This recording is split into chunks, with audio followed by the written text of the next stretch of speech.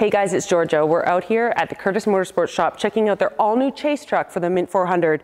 It's a 2022 GMC AT4 HD.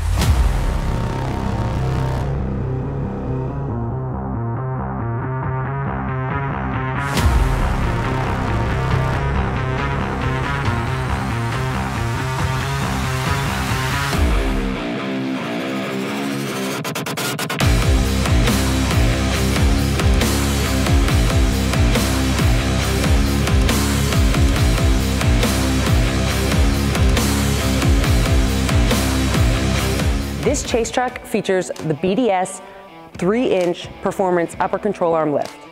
This lift completely transforms the ride of this truck thanks to the Fox 2.5 Performance Elite Series shocks. The Fox shocks in the front have remote reservoirs, which have DSC adjustment, dual speed compression.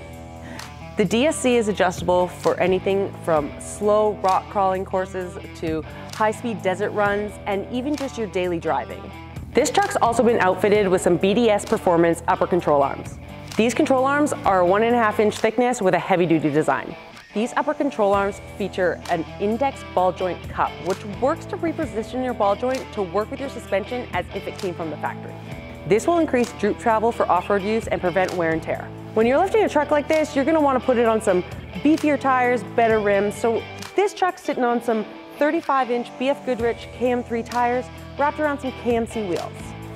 As I mentioned before, this chase truck belongs to Curtis Motorsports. They're a Las Vegas-based race team. They're gonna be competing in quite a few classes in the Mint 400 and using their trophy truck, which means this chase truck has a lot of work ahead of it.